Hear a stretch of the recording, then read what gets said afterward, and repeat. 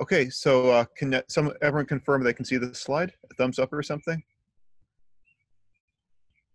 All right, great. Yeah. So the uh, my aim today is to give uh, some explanation of tools I've been thinking about um, to answer the question of how can we expand more. So uh, the context of the, oh, before I say that, everything here is work in progress. So this is certainly not publishable, but I really would like to stimulate discussion and hopefully put this together into a neat result that will give new tools in which we can control these kind of uh, uh, analog systems. Great. So what I want to begin with are the tools we have in the laboratory to engineer these systems. So this is going to be a very experimentally oriented talk, even though it comes out as a proposal. So we can manipulate potentials, particularly in a form of optical lattice potentials or traps. So I'm going to talk about that a little bit. Um, we can tune the interactions, and I'll be using that predominantly as a foil, so going closer or further from a Feshbach resonance to tune the interaction strength. And lastly, there's an additional tool which I haven't seen mentioned in this community, which is further engineering of dispersion relations and the kinetic energy term in general. And you might call this artificial gauge fields or spin orbital coupling.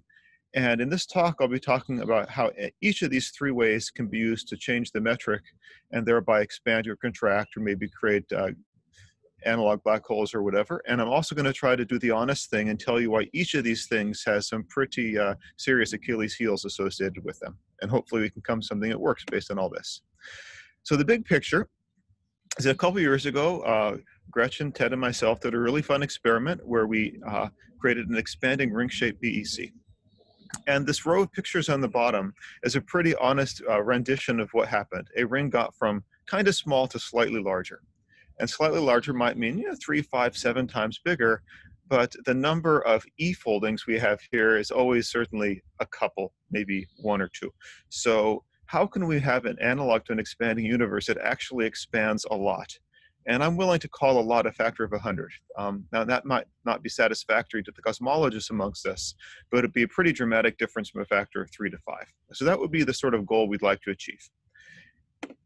Um, if we can do this, I think there's a lot of neat things, uh, neat experiments that we could do that are going well beyond the qualitative, uh, small scale things we saw in this original expanding universe thing. We saw hints of Hubble friction, and we could have equivalently seen uh, hints of anti-friction, so amplification or um, suppression of excited phonon-like modes. We saw nothing like particle creation and nothing like cooling, it would be nice to expand enough to see modifications pulled out or pushed into the quantum back background. And we didn't really see anything associated with the formation of horizon. So the fact that we briefly had causal disconnection in our system didn't give any kind of observable physics. And all of this could be realized more likely if we were able to expand the universe by significantly larger and probe the dynamics actually during that expansion rather than the subsequent evolution. So these are opportunities. I'd love to realize these opportunities. And what's the limiting factor? Rings are great, but why couldn't we just expand by more? Well, the practical issue is the atoms are trapped, sort of depicted on the top left, in a ring that's caused to expand by changing the pattern of an optical field.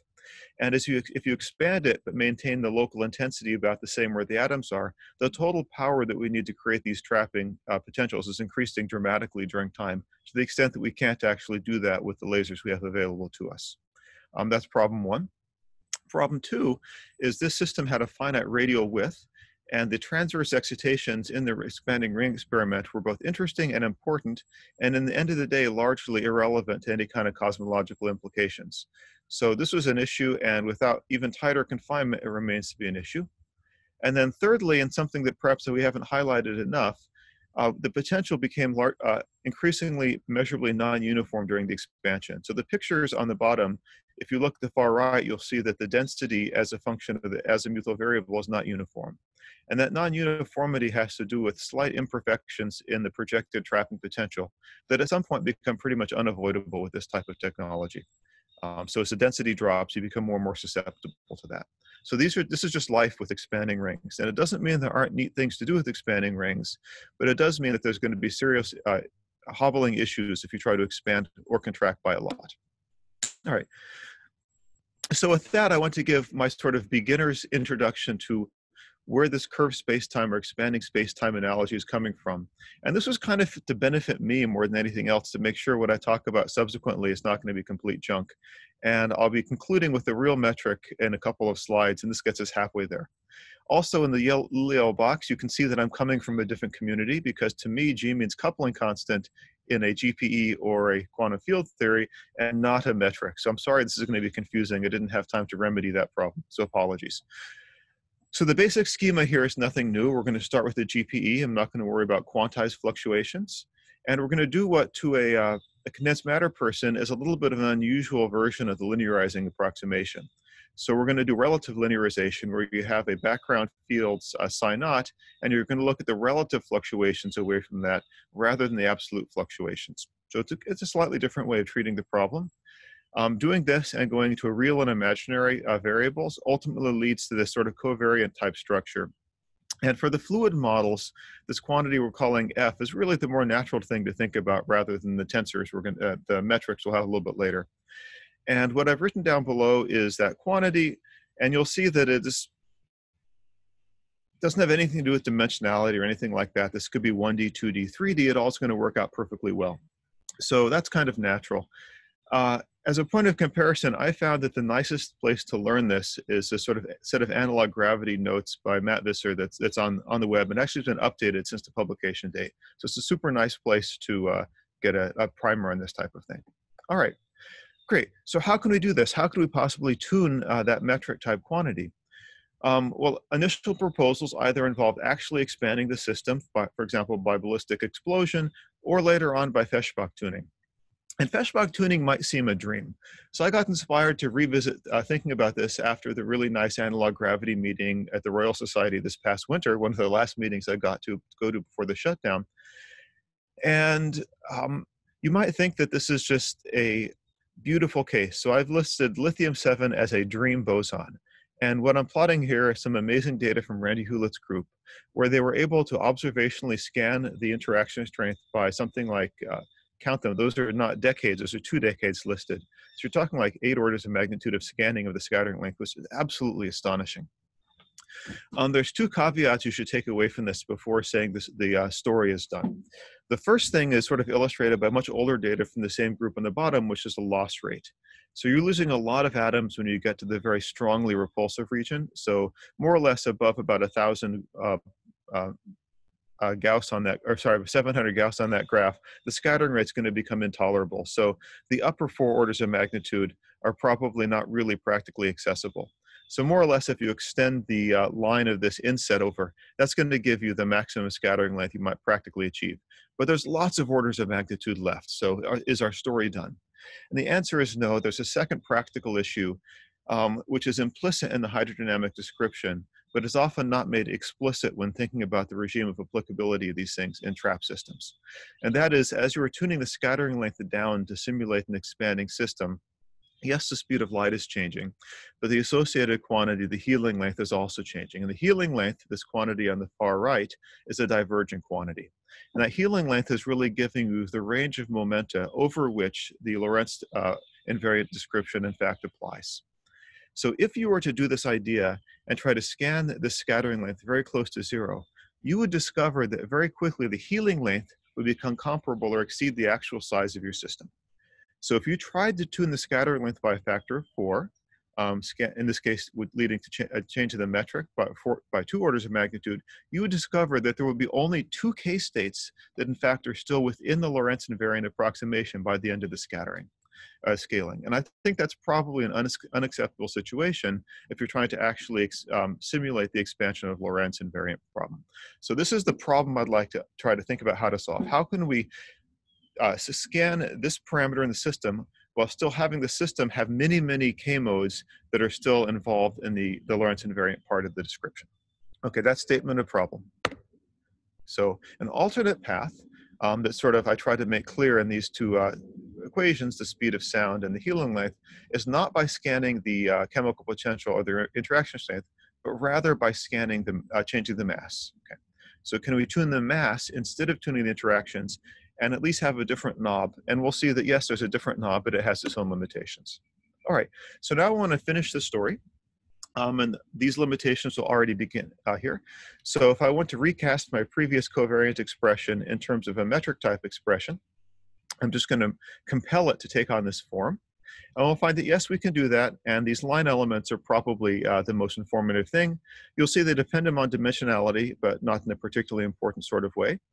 And the scaling relation on the bottom, which tells you if you change either the interaction strength, the density, or the mass, um, that will change the uh, size of these length elements, involves either the coupling constant or the mass appearing in the same place. So if you want to simulate an expanding universe, you either drop the interaction strength or drop the mass. Either of these will work. Um, so it's the product that's going to come in. And for the moment, I'll assume that the, the density could be staying the same. All right, that's one way to think about it. I found this to be interesting, informative, and a little bit unnatural. So I want to uh, have a different way, which I'll call starting at the bottom. So imagine we start either with our original quantum field theory, um, or we start with the Gross-Pitaevskii equation. I'll just start with the GPE. What does it mean in the context of a GPE to have a expanding mass? Well, the easiest way to think about that is simply to change the variables in terms of the positional variables by some scaling function here. Um, that can be put down in the GPE like this. This has a subtle point, which I um, have not seen in the uh, relevant literature before that I want to make. If you change the positional variable and conserve the number of particles, you're going to have to be changing the norm of your GPE wave function, which norms to the total number of particles.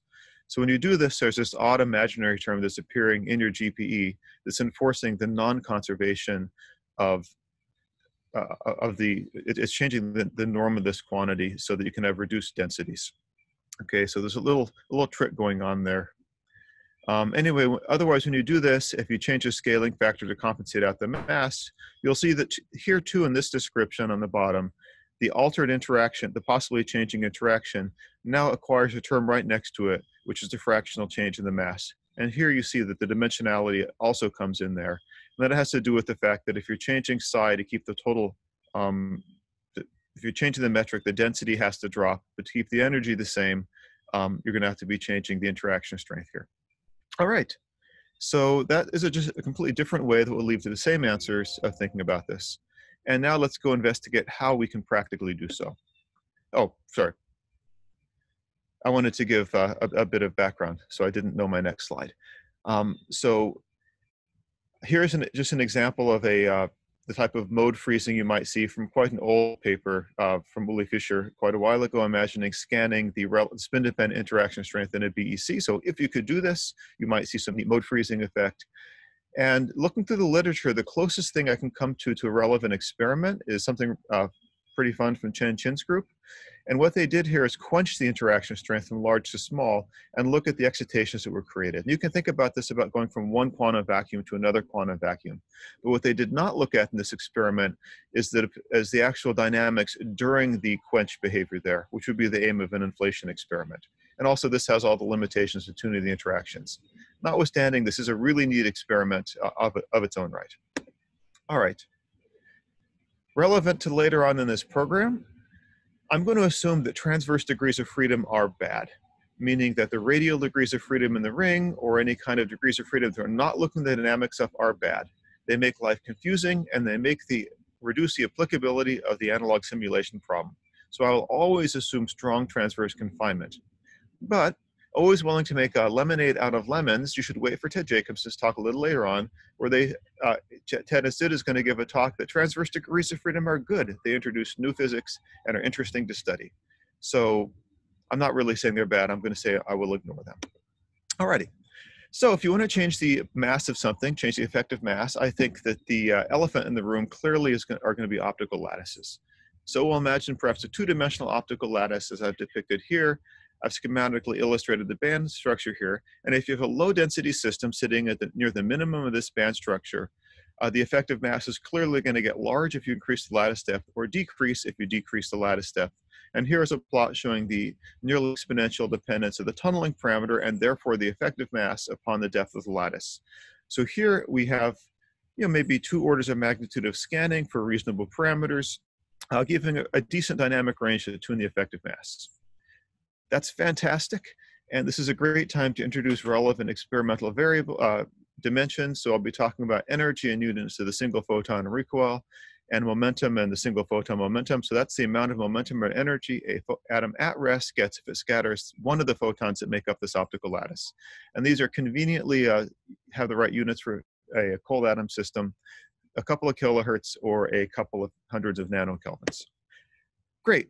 Unfortunately, uh, we have quickly come to realize this is described by the Bose-Hubbard model as depicted here, and scanning the tunneling will also drive the very interesting physics between the superfluid insulating behavior. So the presence of these Mott lobes very quickly limits the ability to dynamically change the tunneling by very much. So on this graph, if you start at the very tip of one of these lobes, let's say here, and scan the tunneling downwards to give the same change in the effective mass, you'll see perhaps you have one order of magnitude of tunneling you can do. All the whilst this is going from a very strongly correlated quantum fluid to a more weakly correlated quantum fluid, changing the range of applicability of the hydrodynamic description by more than one might want. But still, this is a, a knob we have to give some, some scaling. So what I'd like to think about now is a completely different way of doing this that doesn't suffer from the same deficiencies, and that is to do spin-orbit coupling.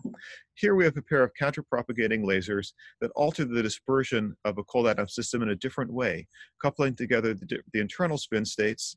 And because this is sort of a concept talk, I don't want to get too much into this, but you have two internal states of the atoms, and if you start at rest in one of the internal states, and exchange a photon, flip, flip into the other state, the atom will then acquire momentum and be moving.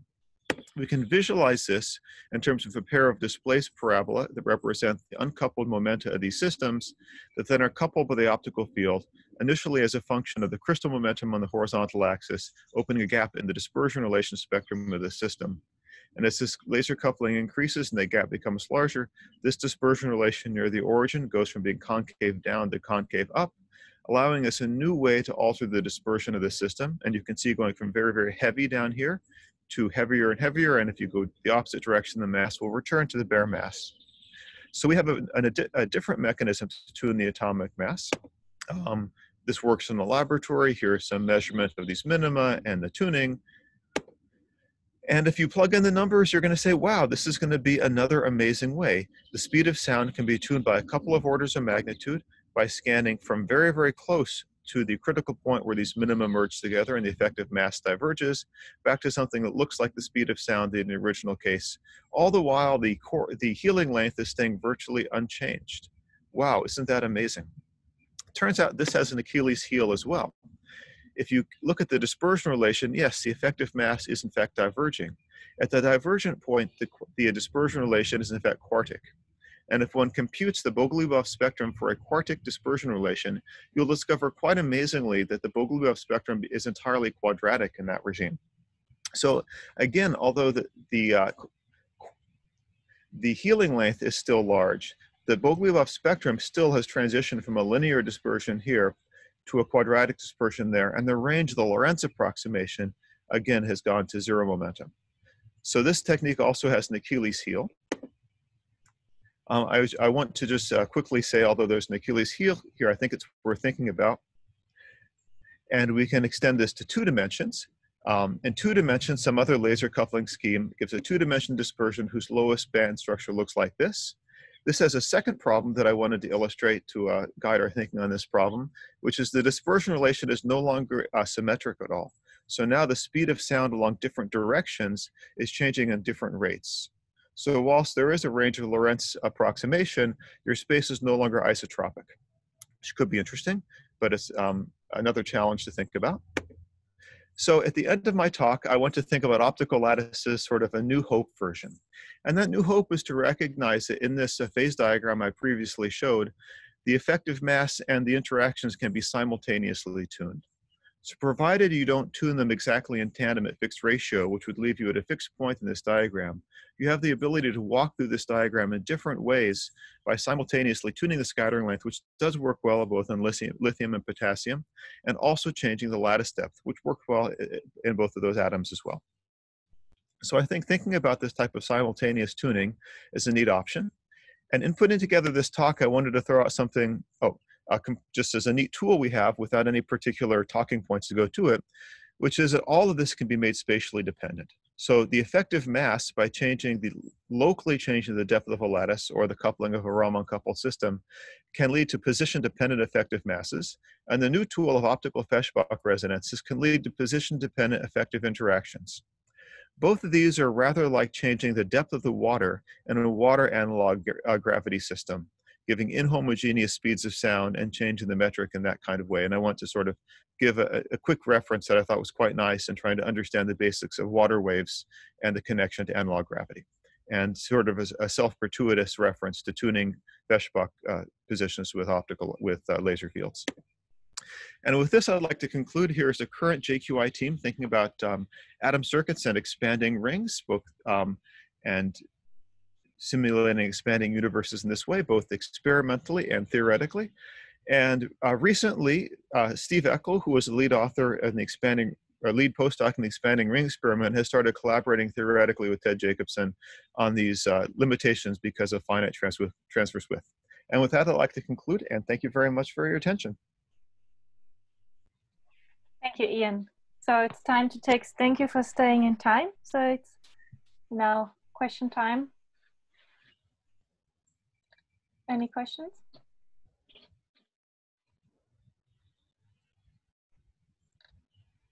No questions?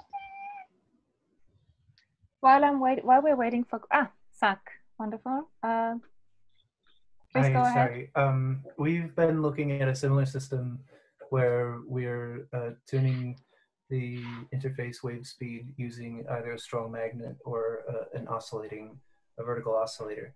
And I was wondering if you have any idea about what kind of spatial inhomogeneities um, might cause what kind of effects. Uh, so what kind of inhomogeneities have you looked at? And what kind of signatures of these homogeneities might you find in said systems? Okay, so I'm going to answer that question uh, from the perspective of the literal atomic physics interpretation. And just to say that my, as a newcomer in this analog gravity field and never a practitioner of, of general relativity, I'm relatively weak in making good transitions between them. So I hope someone who's more strong could do that uh, better than myself. So that answered, imagine, uh, with that caveat, imagine that what we're tuning uh, is the effective mass in the system. So you take a, a lattice potential, and in the center of the system, you deform it so the mass is larger. In these cold atom systems, we can do things very similar to what can be done in a tank of water, which means you can modulate one wall of a, a box uh, trap system and launch phonons that would propagate across the system. And what you discover in the center of such a system is that the speed of sound would indeed, indeed drop in the region of larger effective mass, creating, creating a lensing-like phenomena. So you can think about that as a variant index of refraction or whatever you want, but these type of inhomogeneities will lead to local variations in the speed of sound that would manifest themselves with lens-like phenomena that can be observed in such a in a manner such as that. Um, so that that's the way I've been thinking about this so far, and I would love to be educated in terms of the right way to think about this, uh, in terms of the, the, the metric description. Me too. Uh, thank you. Any other questions? Uh, sorry, as, as a host, I cannot uh, raise my hand, but I, I still have a question. Yes, please go ahead. So uh, there were two uh, points where you um, you said uh, when you expand, you get these uh, inhomogeneities, and then there's also the renormalization of the of the wave function, and you you kind of consider them as very technical points. But isn't this just artifact of more sort of profound thing that when you expand your space, homogeneities uh, grow, and and and the same about when you expand your space, your, your particle number doesn't need to be conserved? Uh, yeah, so I, I, think I'd answer those two questions uh, separately. So the first one, when we're expanding this trapping potential, uh, the one I've, I've pictured here, it, it really is a technical thing that the the laser field has. Uh, if you think about the red sheet here, for example, as, as sort of a cartoon, that that laser field is inhomogeneous and we certainly have the capability of adding additional potentials vertically to compensate this, those inhomogeneities. But that becomes super tricky if you're also simultaneously expanding the ring. So the inhomogeneities you see here really are coming from laboratory imperfections that with sufficient experimental control could be compensated for. Um, in contrast, um, the, the, uh, this imaginary term in the GPE that appears here, that one, yes, is an entire is a it's an interesting result of changing the coordinate frame in, in this way that a lot that compels the density to be dropped locally by changing the norm. So this is an intrinsic and interesting effect that comes in with this kind of formulation. And obviously is related in the sense that the density drops, leading to an increased sensitivity uh, to uh, external perturbations. But in a situation where we tune the effective mass, the atoms aren't actually in the lab frame moving, and that would open the door for better potential compensation.